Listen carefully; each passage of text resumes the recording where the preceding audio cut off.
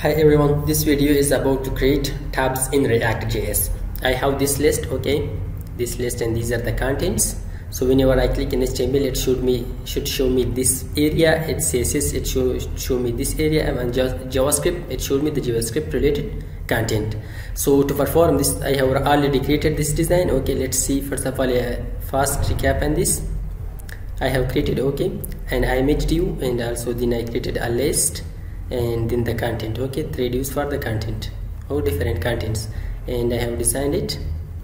See it, the design for the tab and list. Whenever we h over on the list.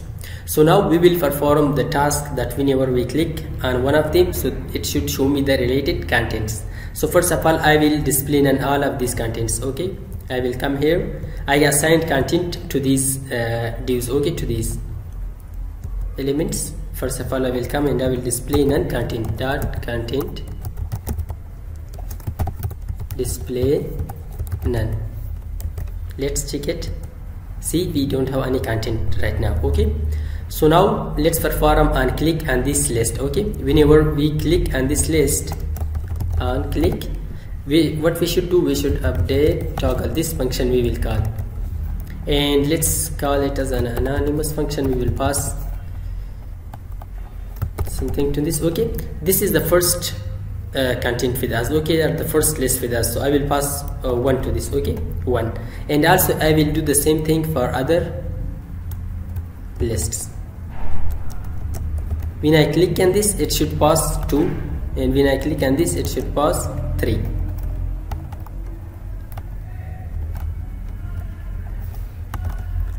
so now we will create this function update toggle okay? Before creating this I will create a state a variable const toggle set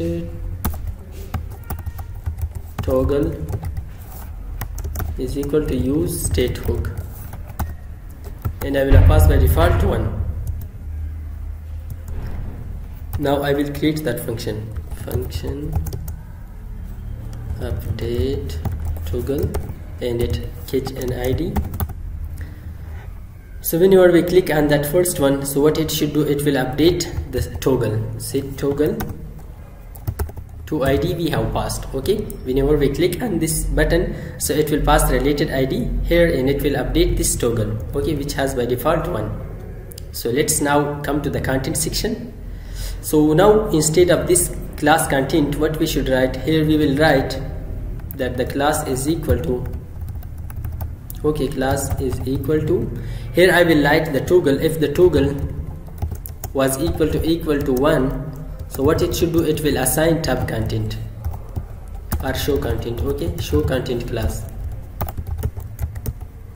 Show content. Otherwise it will assign content class. Let's do the same for all these other two content for this one. Control D to select the second one also in paste. Uh, sorry where is the error? Oh I didn't close this so let's close it. Yeah I have did it. Okay so now I will assign a CSS on this show content. Let's write code for show content. Dot show content display black yes it's all like this. So now let's check it. Come here. Uh, by default we should have um, sorry. Uh, if that uh, this yeah we should change this. If the toggle was equal to 2 it will display me this. If the toggle was equal to 3 it will display me this. So let's check it out. See it? By default we have the h1 for this uh, first one. Okay? So whenever i click on the second one it will show me the css click on this click on this and also on this. So it was all about creating tabs in react.js very simple. So if you have liked the video please subscribe our youtube channel. And thanks for watching